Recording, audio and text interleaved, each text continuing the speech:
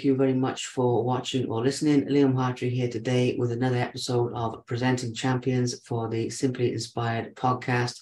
And today I am joined by Jarkko Jussila, I hope I'm saying that the right way now, uh, an incredible talent in the fighting world, three-time kickboxing world champion, veteran of 197 fights, I believe, across kickboxing and boxing as well, competed in multiple styles is also a world-renowned coach, um, travels around the world doing seminars.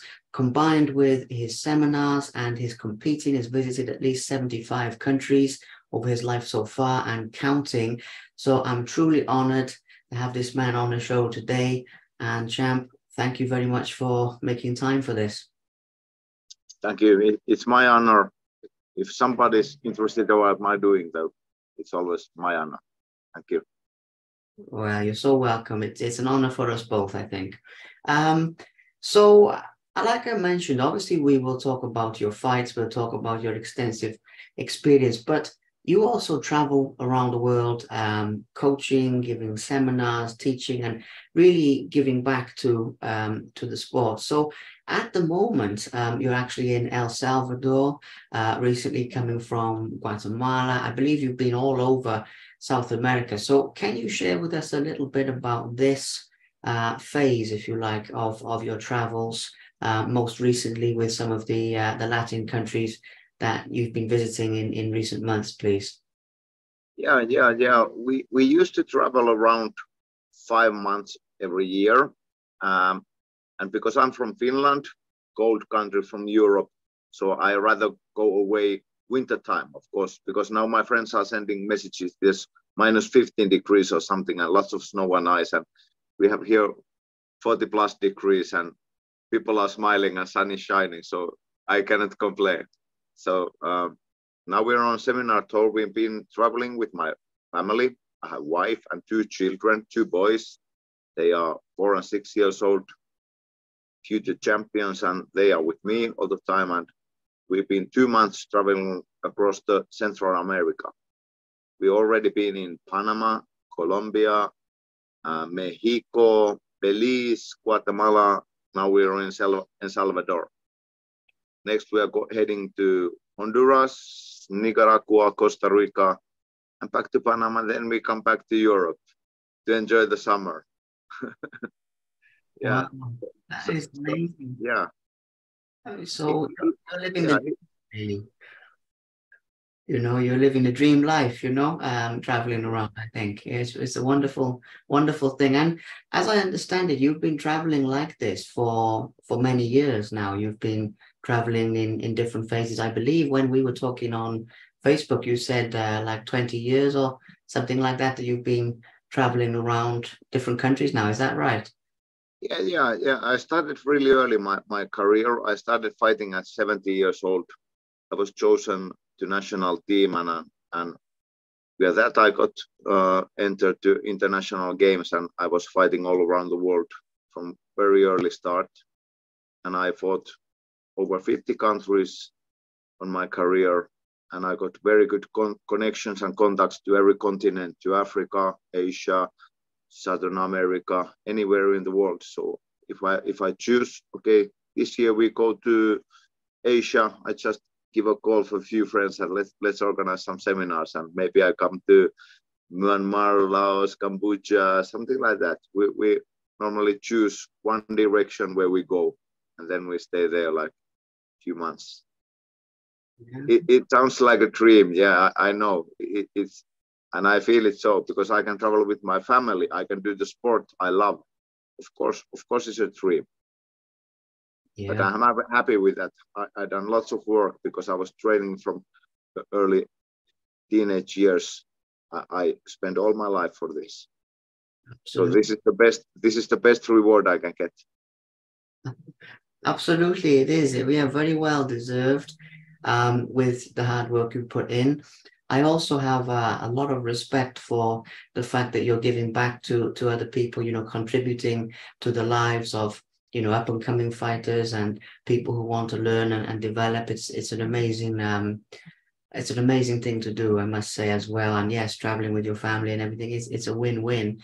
out of all of the countries that you've been to, so many of them, do you have um, personal favorites or do you just feel that every country has something different to offer, every country has something special? Or are there certain ones that stand out to you as being your personal ones you've enjoyed the most visiting, if, if that makes sense? Mm, yeah, I understand what you mean. And many, many times people ask it, and, and because we travel so wide, but but I like the every continent. They have a different style of culture, different style of training methods, different knowledge about nutrition, how you're supposed to train, about the techniques. It's very interesting in total, and, and that's the that's the most interesting thing in my my job because I go so wide. I go every, I meet every culture, every methods, everything mixed. But I cannot say what is my favorite. Of course, if I think, for example, some place I could settle down with my family, I, I would choose something more safe place like Australia or something, not in the middle of Africa where it's a little difficult to get get milk or diapers for the babies and things like that. Yeah, absolutely. It, makes sense. It makes sense. I can understand how they all have something different, you know. And when it comes to teaching and and sort of coaching people and developing um, the next generation of, of fighters, what do you enjoy most about that role, you know, of giving seminars, of passing on your knowledge to people who want to know more about it? Uh, what would you say is, is your favorite part of that aspect of uh, of your work and what you're doing? Yeah, yeah. Of course, I, I get delight from the work I do. When I see the people get development, they they get inspiration about me. They they find something new. They they get some motivation for the training. That that's the best because I I many times I visit like orphan homes. I help like for example here in El Salvador, I'm going to help uh, young people who are getting out of the gangs about away from the criminality. They find a new new way for the life, making sports, making something useful. They can develop themselves. They get uh, lots in the heart, lots in the head. So I I kind of help also people. It, it's part of like charity work also. So it's very important role for me. And and because they listen to me, they respect me, I get the appreciation. Of course, that's the win-win for me also. So I feel very honored to do this work. Absolutely, it's it's incredible work. I have so much respect for that. You know, when people reach the high level, like you've reached a high level with, you know, world championships and so many amazing things, they're taking the time to to give back to people. They're taking the time to to contribute. Absolutely amazing. So uh, and if people want to get in touch with you for a seminar, I know I know you know everyone as you just said, but just in case when I because when I put this out, it go around the world as well. Anyone wants to get in touch with you, do, should they reach out on social media or your website or what's the best? Yeah, yeah. I have website. I'm, I'm very easy to reach nowadays because technology technology is totally different than it was 20 years ago. Now it's just just to put a message or call, you find there's no so many crazy coaches in the world. Only Finnish Jarkko, Jarkko Jussila, yeah, very difficult name. Uh, no, yeah, it's a good name, and it's. Uh, I'm sure people are honored to work with you. You know, with everything you've achieved, and um, yeah, I mean, obviously, you you're taking um, the opportunities as they come and taking them in all different places. Maybe some people would would not, but uh, I think it's a wonderful journey that you're on. And it's very inspiring for um, young fighters as well, because it, you know, you show them that if you put the work in and you put the effort in, obviously what they get, what they can get out from it, like you're traveling around and you're, you're living your dream. So uh, anyone watching this who's like a up and coming fighter, they can learn that lesson as well. Um, so it's, it's awesome. So talking about your your fights themselves, um, you know, there's so many, you know, we won't be able to talk about them all, obviously. So we, we'll have to talk about some highlights, you know. I'd love to talk about them all, but we'd be here until like the night time or something, a long time, you know.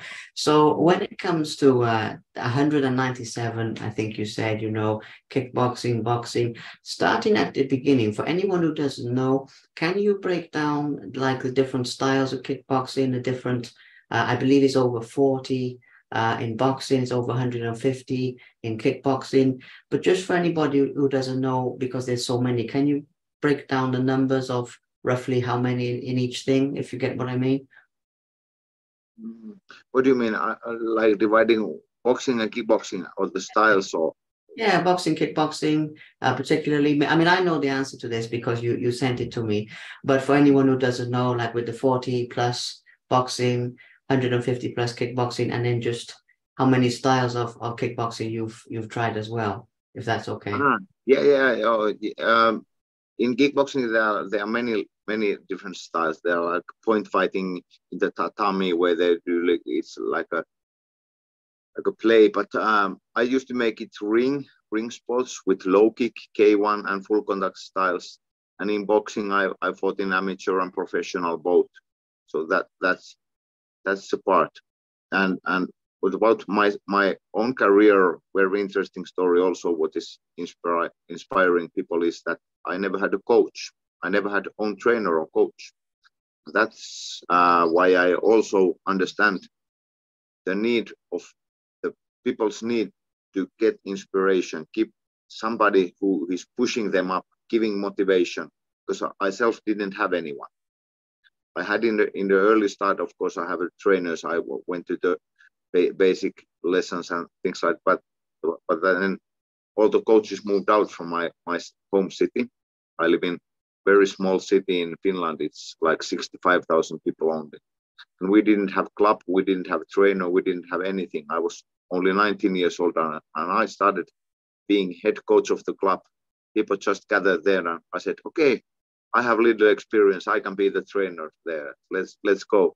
I will show you this and I will learn this. Next year we do it like this. And I was 20 years old and I already had my own team. I had own all, own fighters. I was just a young boy who didn't know or understand anything yet, but that's that was the start. So I, I started from zero. I can really say I started from zero. We we didn't have anything. We didn't have the knowledge. We didn't have trainer. Nobody to look up to. Wow, that's incredible. I uh, I'm amazed, you know, that you, that you've achieved. Um, I mean, I know achieving everything you've achieved. There's a lot of sacrifices, a lot of discipline, and, and all of these things. But yeah, training yourself that is uh, that is really something. So when you're coaching these these fighters now, you're sort of the role model for them that you never had for yourself in in a yeah, yeah yeah and, and and the important lesson i try to explain is that in the end you're alone. It's very lonely sport in the ring. You're always alone okay? You you can have a trainer you can have friends you can have support you can have family everything. But in the end it's it's only in the heart and in your head. You decide what you want. If, if you want to achieve something even the best trainers won't won't help i unfortunately nowadays i, I many times face like fathers who are saying that I want my boy to be a champion. But then, uh, okay, what, what does your boy want? Does your boy want to be a champion, or is it just you as a dad who wants your boy to be a champion? So you cannot do it. Even the best trainer cannot help people to achieve something if they really don't want. It's it's all about in your heart and in your head, after all. Absolutely, yeah, yeah. You, you either have it or, or you don't. You have the desire. It makes sense. It makes a lot of sense. So this question, it's a pretty big question because of the amount of, of fights you had. But do you have um, favorite moments or like your proudest moments of your career? I mean, obviously, you've won world titles, you've fought all over the world, you've done some amazing things um, in your life in terms of specifically focusing on the fights and, and the competitions. But do you have personal uh, favorite moments or proudest moments out of the 197 fights? Amazing number. Um, do you have favorites from from those? Uh, yeah, that, that's a very big big question, like you said. But but actually, I could say one one of the proudest moments was after the last fight I had. I had in, in Sydney, Australia. It was the third world title fight. I won it unanimous decision after 12 rounds. And I went to the hotel room with the belt and I, I threw the belt in my bed and look out of the window. It was like very nice room I had in a hotel. The floor was like something like 26 or something. I saw, saw all the Sydney from the window. And at that and that moment I knew, okay, I'm done. This, this was the last fight. I'm not going to fight anymore. And all my life I had the passion to fight, fight, fight. Every week almost I had the fights. I traveled from Finland to Asia, to Africa, to Southern America, to Brazil, everywhere, fight, fight, fight, fight, all my life. But after the, this last fight with third world title, the, the decision was so clear. I knew it at that moment. I knew, okay, no more, no more. This is it. I'm 36 years old when I finished, when I retired eight years ago. And I, I knew, I knew, okay, there, there's young lions behind me. There's thousands of people who are getting after me because now I'm three-time world champion. Everybody wants to beat me. So better to stop it at the top. You understand what I mean? Yeah, absolutely. So I was, I was very proud of that, that moment that the, the decision was so clear. And as you know, many top athletes in ring sports, combat sports, they always want to, okay, maybe I take a couple fights more and then they get punched or they lose or some, something bad happens. Nobody's invincible in the end. Of course, we have like Floyd Mayweather and something who made like good decisions and stop stop when they was unbeatable. But but I was very proud of that decision because it was it has been all my life. It's very difficult decision for, for many fighters. And when is the last day? When is the last fight? But I was so proud. I, I didn't injure myself. I, from the face, I look like teenage boy. I'm now 44 years old. I have nose is straight, ears on the place. I can speak. I, am happy. I'm happy, and I can continue the sport. There's uh, people uh, respect me more when I'm three-time world champion not the, the ex-champion who, who got beaten up a few times, but I, I finished at the top. So it's lots of, you understand? Yeah, absolutely. It's it's the way to do it, man. You know, um, achieve the dream and get out of there with with everything intact. You know, with the the as you say, be mentally sharp and physically good health and everything, and you have that. So uh, I'm happy for you because it, that is the way. Um, because you know, working around fighters, you know, you do see those guys who, you know, they, they keep coming back, you know, they retire for a little while and then maybe they think, oh, I'm going to have another one. I, I think I've still got it. And eventually, you know, it, it, it doesn't end well. So the fact you've gone out on top, fantastic, you know, wonderful. Um, with becoming world champion as well, um, people can watch the fights, obviously, and, and see what happened. But in your own mind, how does it actually feel? You know, when you like maybe when you won the first one, or maybe it's it's the same for all three of them. But in a moment like that, when you when you know that you've won, what actually goes through your mind and and what do you feel in your emotions and, and everything, you know?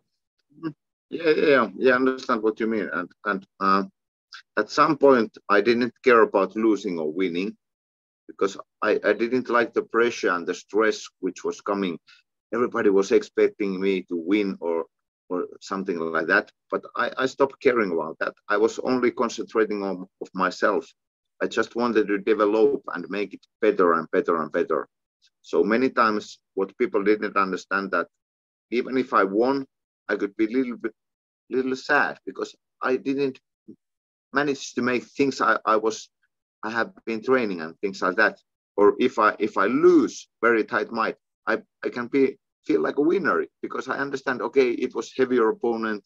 I was a little injured or something. There was something on back, but still I was glad. So I, I never I never said that I want to be a world champion or anything. Never, never, never, never. That wasn't the dream or the goal I was chasing. It was only to develop and uh, enjoy the sport I, I always wanted to just have more and more fights. And people said, okay, now you won first world championship title. Let's let's go and party. I said, no, I, I have to go to training. I'm so bad that I have to train more because I know my next opponent is training at the moment that he wants to beat me. so, so it was good motivation. I, never never thought that okay now I'm ready or now I'm good now I'm world champion now I can have the belt with me all the time. No no no. I just threw it in, in in my closet and keep on training and developing myself. It wasn't the goal I was chasing some title or something. Of course, it's nice to get some belts and titles and appreciation, of course. And for sponsors and things like that, you need need to achieve something. But that wasn't the the main goal. You understand? Yeah, absolutely. It, it, it, was more for me. It was more for me. That that's why I like to share my knowledge and things nowadays too. I do it as a charity basic. Of course, when I travel, I need some money I, I get money from seminars of training classes, but many times I do it for charity. If I know, for example, these young people who are getting out of the gangs, criminal people, I help them for free. I know they don't have money, but if I can support and help them some way, I will do it. Yeah, absolutely. That's a beautiful thing, really, you know, to be doing to helping people change their their path, as I said earlier. But um, I get where you're coming from with wanting to develop and enjoying the process because it's not it's not a question, but you just find this interesting. Um, when I when I do these interviews, I've found that the people who've won the most world titles, you know, people who've won, you know, three, four, five, six, the people who've done that, they actually not they're the same as you. They're not focusing on, oh, you know, I want to win that. I must get that thing. They're just focusing on, you know, um, to, today I'm going to be a bit better in training than I was yesterday, and tomorrow I'll be a bit better than I was today. And it's like a like a pattern, you know, with the people who won the most. They they weren't concentrating on that. They were just concentrating on enjoying, improving, you know. And I I find that fascinating, you know it's not a mm. question, but you just thought you find it interesting. You know, you know that. So okay, amazing. So as well as this, people always want to hear about um about toughest fights. You know, this is something that is is a very popular question that I get asked to ask if you get what I mean. But the thing about toughest fights is obviously it comes in different forms because you people hear that and they think, oh, you know, that's like the power of somebody. But obviously, it can be technical. It can be um, a lot of times I ask this question, people say it's something going on outside of the ring, something going on in their life. They have to focus through that to win. Mm-hmm. But for you, what what would you say your toughest challenges have been uh, made? You know, I'm sure there's a lot. So I'm sorry, it's a big question mm-hmm. again. you know, I'm sorry. Yeah, don't worry, don't worry, don't worry. Yeah, I get get. Uh, I would say the the most difficult fight was uh, it's actually a little bit tragic and, and sad thing, but but um, my little brother was my best supporter, my closest friend, but he died in a car accident when he was 18 years old. I'm sorry for your loss. Yeah, that's terrible. He, he passed away. It's all, already like how many years? I don't even count. Like 20 years ago. 20 years ago. But he passed away, and the next day, I had a fight. I had booked fight for the next day, and so my brother died on Saturday, and I had fight on Sunday. And uh, when I heard the news that my brother passed away, I didn't talk to anybody. I didn't talk to trainer. I didn't talk to my friends.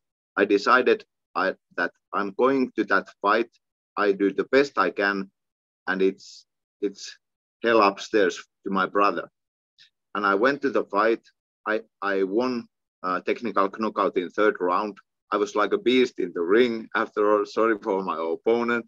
Yes, no harm, but but I did good, and that was one one change in my life. I decided that because life can end anytime, any day can be the last day. I decided I'm going to going to kill give everything for this sport, which I enjoy, which was like common thing for me and my brother. So it was one one turn in the life. There's many many turn and and points in the life which can affect the direction you are going. But this was one of the main.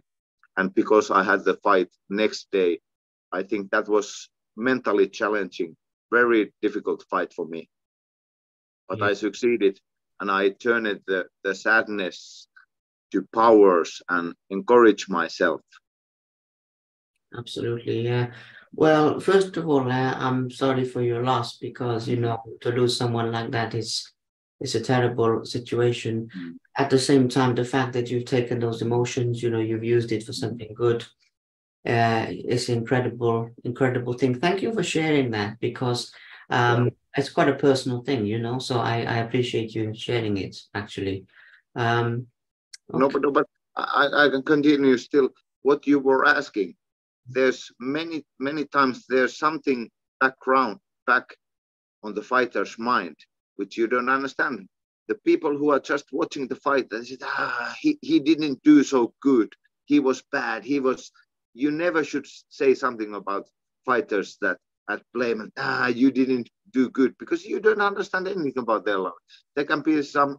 They have lost their family yesterday, and you you just accusing that. Oh, you know, you you wasn't sharp, and you understand. There's many things behind the fighters. So you should always respect fighters who get in the ring and put put their life on on the line. Yeah, you should absolutely. Everyone who gets in there, they they deserve that respect. I agree. I agree.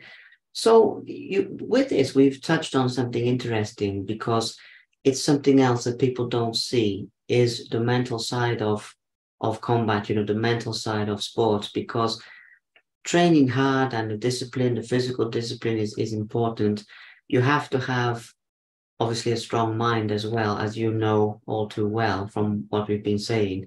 So outside of, of that situation with your brother, just when it comes to generally preparing for fights, say like, uh, you, you know, you were fighting every week and everything, what is your mental process? What's going through your mind on the build up to a big fight or to any fight really? I mean, are you one of those people who's like visualizing the fight and thinking through it? Or are you putting it more out of your mind? I'm just curious to get into what your process yeah. was for that. Mm, yeah, that's very interesting question also, and and uh, my way was uh, do the training so hard that the fight would be easy. You understand? So I was uh, mentally preparing myself by doing so hard training. So I gave 101% in the training so I when I when I got in the ring, I I was sure that I've done enough. I was I have been training so hard and so passionate that I was sure that the opponent sure haven't done that. And I, I saw opponent's eyes that okay, he's a little bit unsure about himself or something like that. It's lots of men mental fighting also in the ring. So mm. I, I prepared my mind that I, I was sure every time I was in, in so, so good shape, trained so hard that whatever comes, if I if I lose the fight, okay, then I haven't then I have to do more next time. I, I wasn't afraid of losing or not concentrating only on the winning. I was just making myself sure, like like self self confident that I'm the best. Even if it if it wasn't true, but I had to make myself believe that I am the best at the moment I get in the ring. If I'm little, uh, maybe I didn't do enough. Maybe I should run a little more every morning or something like that. I, I feel insecure and then I can can get can lo lose the fight. But I should be always prepared for the fight and believe in yourself, even if nobody else believes you. But you have to believe in yourself. Absolutely, yeah. That's very good advice. Very, very good advice for life, you know. Obviously, that applies to sports and to combat, but you can take that lesson and people can apply that to anything that they they want to yeah. succeed, you know. So yeah, I agree. Yeah, and, and that's you know that's a big part of why I do these as well. You know, is it's not just to fight stuff with these interviews, but to get a few lessons, you know, from people who've achieved great things, like you've achieved great things, and um, to share those with people who who need it. You know, it's uh, so I, appreciate you appreciate you sharing that um, very very much. While you were competing, did you ever have? Um, obviously, you competed in in in boxing and kickboxing and different styles of kickboxing. Did you ever have a preference for which style of competition, or were you just happy to sort of try a bit of everything and, and compete across different uh, the different styles and, and between boxing and kickboxing. Did you prefer one over the other, or were they sort of equal in your mind? It was quite equal. It, there's always rules to follow, and of course, I tried to prepare with those rules. I know knew the next fight is coming. So if I had a boxing fight, I, I had a stance a little lower and a little more with the hand techniques and moving, and in kickboxing maybe a little higher using the legs and combinations, as of course like that. But uh, in overall, I just enjoyed the fighting. I, I enjoyed the the feeling and the spirit. I enjoyed it from the start, the end everything from the middle. It was it was my passion. I just wanted more and more. I was always hungry for more, and I that's why I got 200 fights because it was very difficult from Finland, from my country. I al- almost every time I had to travel abroad to have a fight. We didn't have so much in Finland. Okay, of course, some fights, but at some point when I was, uh, how would I say, I was good enough there was no opponent for me in my home country, so I always have to travel very far to have a fight. Yeah. But I just wanted more and more. Many times when I had to fight, I already knew when I have the next fight. Because now, now nowadays, many professional fighters they can have like two, maximum three fights per year. And one of the busiest year I had was 32 fights in one year. And almost every fight was abroad it was all over the world. So you can you can imagine how much traveling it was and turning the time zones. Okay, now we're in Asian time, African time. It was crazy. wow. Yeah, but uh, afterwards I'm laughing. But then when I was cutting cutting weight, I, I was fighting in three different weight categories, from 62 to 66 kilos, and everything between. I have a long reach. I'm quite big, big, big guy in my category. So I had lot lot to do with capping weight and very disciplined life all, all the time. Yeah, absolutely. Wow. I mean, 32 in, in one year, that is yeah. something you don't hear that uh, these days, you know. So uh, no, it was crazy. And, and just that, of course, there was some tournaments, but everywhere in the world, I had all the continents, I had the fights, and it's it was crazy. Yeah, absolutely. So you also mentioned there as well about uh, you know the places you've traveled and everything, but I meant to ask this earlier, you know, but but I forgot because there are so many amazing stories representing your country, you know, representing Finland on the world stage, you know, around the world and um, traveling to all these places from your country. What does it, it mean to you to to represent because i know you said earlier that you were doing the the sports to test yourself and you you know you were not really focused on some of these external things. But i still imagine that you know representing your country on the world stage was was special to you. Yeah it was it was. I always think that people should have roots. You have should have like home. Every time even if i travel now a lot I always mention I'm from Finland. This is our home. This kind of country. We have nice nature. We have good education. Things like that. I I think everybody should have place what they call home, even if they travel a lot. I was really proud presenting my country. It's a small country, and world level, many people in somewhere they don't even never heard about Finland. Okay, where is that? Okay, North Europe. Okay, uh, next to Russia, things like that. Okay, but I, I was proud. I was proud about that. Yeah, and so you should be, you know, because representing your country is a very, very special uh, thing to to be doing. Um, so moving into the last couple of things, you know, for for this mm-hmm. talk, you know, because I keep the, these interviews maybe 45 minutes, an hour, something like that, because people's attention you know they can they can watch it for that time but you know if it's too long they won't yeah. moving into mm. Couple of things. And, and also you've got things to do. You've got your whole day ahead of you. So uh, i i understand that. But i obviously talking about the future because earlier on you mentioned about some of the countries you're going to you know nicaragua and these various places that that are coming up honduras. So that mm-hmm. is this trip.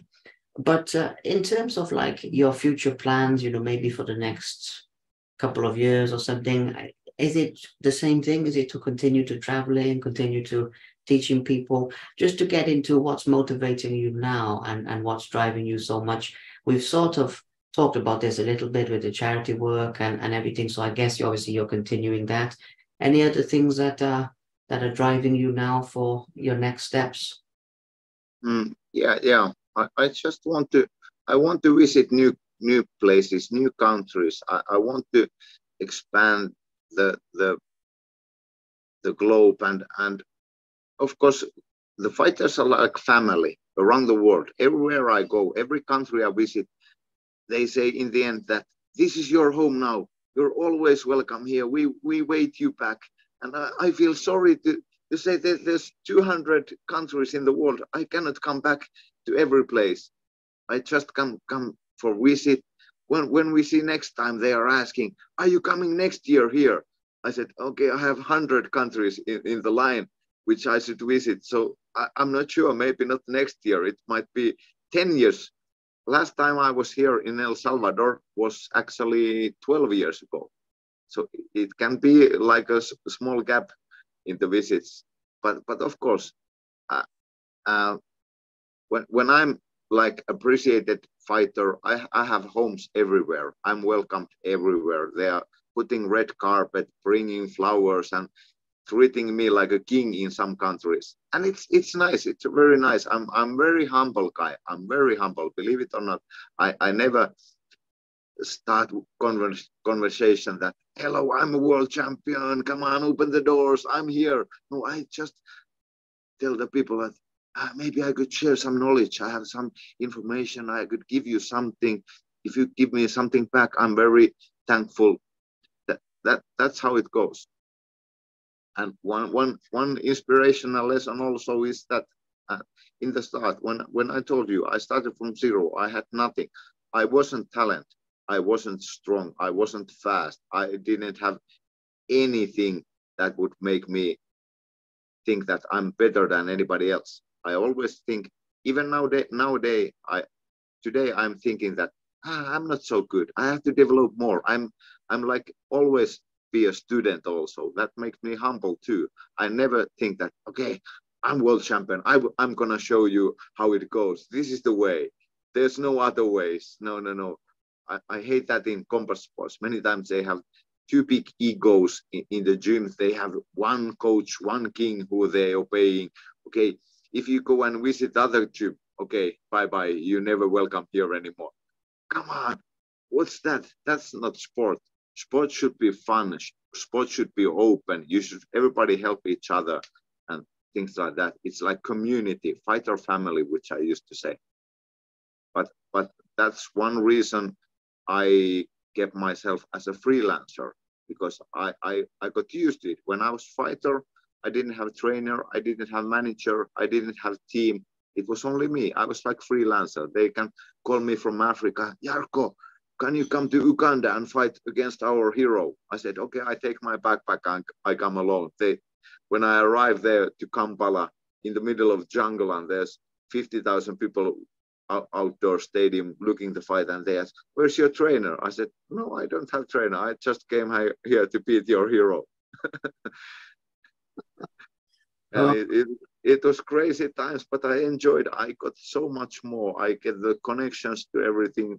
I have friends all over the world. I have a good network, and and after all, the the uh, circumstances or the gyms, everybody knows each other somehow. There's good connections. Everybody helping me at some points. For example, now I'm visiting countries I've never been before we go next week we go to honduras. I never i've never been there before but i got good, good connections when i was in panama. Now i'm organizing seminar there. I'm going to mma event which i'm going to be vip guest and some judge judging. It's very nice. I get new friends and probably after my visit they said this is your new home again. Welcome whenever you want. It's it's great. It's great I already forgot your question.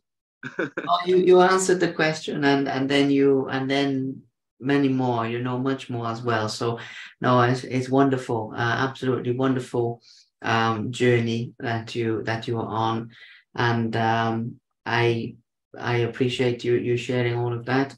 Um, the last thing to to give a, a mention to, um, anybody watching around the world who uh, wants to compete, you know, they want to, they have a big dream um, to to do something. Obviously, people want to learn from you. They should come to your seminars when you're in their country because I'm sure you'll be at whatever country they're in at some point. But if you had to share like maybe one or two final um, pieces of advice for people who want to achieve their dream, who are watching this somewhere, um, we throughout this call we've shared several um, really really good lessons. So just to close out with um, anything else you would say to people around the world who want to be the best version of themselves and want to achieve their dreams, please? Yeah, just just concentrate on working hard. Not nothing comes too easy. You really have to have the passion. You really have to work hard. Uh, before my first fight, I was training like half professionally two and a half years. Nowadays, many people come to the gym and they say, "Can I go to fight after one month training?" I said, "Okay, may, maybe a little more. Train at least one year before you go to fight, so you get much more better experience when you you you cannot learn it so fast. It it should be more than more like lifestyle, not just like going some course, get ex, ex, this experience. It should be more than lifestyle. You you have to take it into your life. Feeling good, eating healthy, be a good person. That's a good advice for everybody. Absolutely, yeah. Well, you know, I, I'm a big believer in that what you put out into the world is is what you get back in the end, you know, and uh, very true. Yeah, very very important. So we've talked about some uh, some good things today, you know, and I know that with this we've we've sort of only scratched the surface because there's so many adventures and there's so many places you've been. But nonetheless, I just want to thank you for taking time out of your morning and um, I just want to to thank you for um, sharing everything you've shared and being so open to to share all of that. So thank you very much for your time. Thank you, Liam.